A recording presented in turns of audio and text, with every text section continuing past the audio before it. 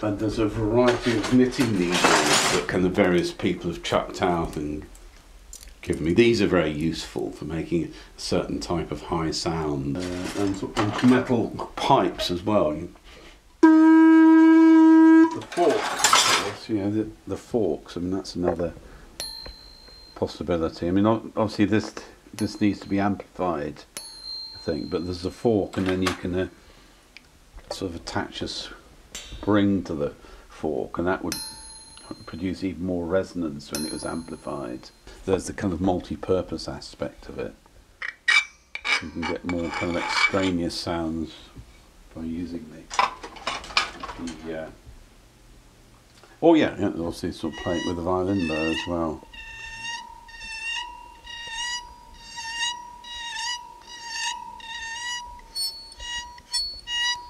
I think um, this is um, this is one of my favourite all-time objects. I've used this a lot. This was found in the street in um, Budapest. Uh, it was fantastic kind of uh, plastic box that you can take all all kinds of kind of textures, and you can at- attach long or short springs to this and play various parts of it. So I mean, it produces a sort of huge range of sounds. Just just um, so much you can do with this when it's. Uh,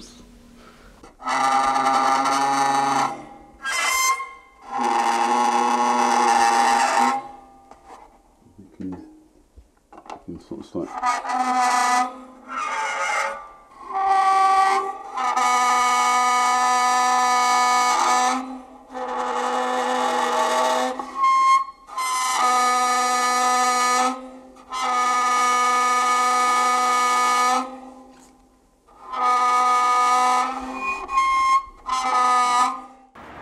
Ooh. that? No, no, it's all right.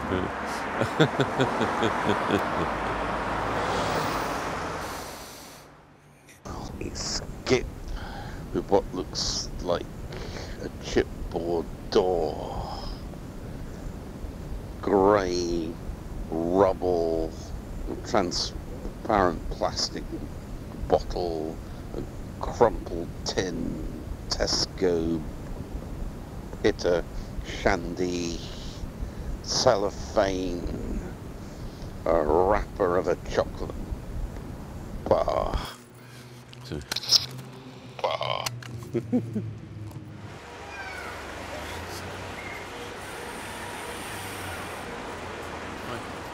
I